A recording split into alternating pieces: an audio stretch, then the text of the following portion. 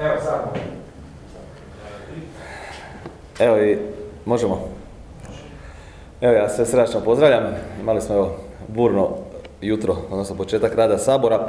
E, ovu tiskovnu konferenciju za medije smo sazvali kako bi obavijestili e, hrvatsku javnost da smo prikupili dovoljan broj potpisa, odnosno više od 30 svih saborskih zastupnika, a vezano za interpelaciju o radu vlade glede neopravdanog rasta cijena e, uoči i nakon ulaska u eurozonu, te nedovoljnog zaštite samog pučanstva.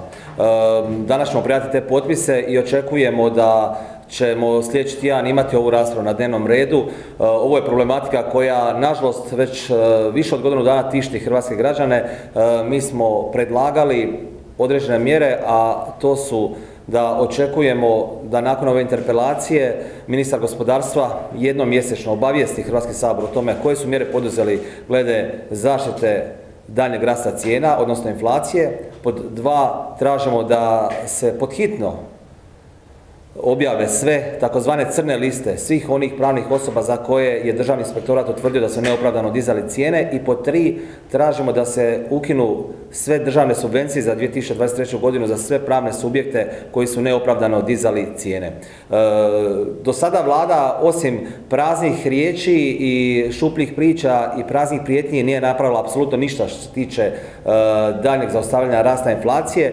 Inflacija za treći mjesec iznosi 10,3%, ali moramo znati, oni govore vladajući da je ona u padu, e, da se ona referira na inflaciju na ožujak prošle godine, a onda je već iznosila 7,3%, što znači da je u dvije godine e, inflacija preko 18%, a da ne pričamo o inflaciji prehrambenih proizvoda koja je preko 20% u te dvije godine, a to ljudi najviše troše. I danas evo je izašlo u javnost da e, čak 60% domaće inflacije u 2022. godini e, je posljedica rasta marži e, i profita samih tvrtki. Što znači da su neki i mnogi lovili u mutnome, da vlada nije adekvatno reagirala, nije zaštitila hrvatske građane i da zbog toga su proizvodi u našim trgovačkim lancima za 20% skuplji isti ti proizvodi nego što su recimo u susjednoj Sloveniji, pa čak nego što su u Austriji ili pak Njemačkoj. Po najnovim pokazateljima čak su nam skuplji proizvodi 3 do 5% u Švedskoj koja je najskuplja država Europske unije. Tako da očekujemo da se e,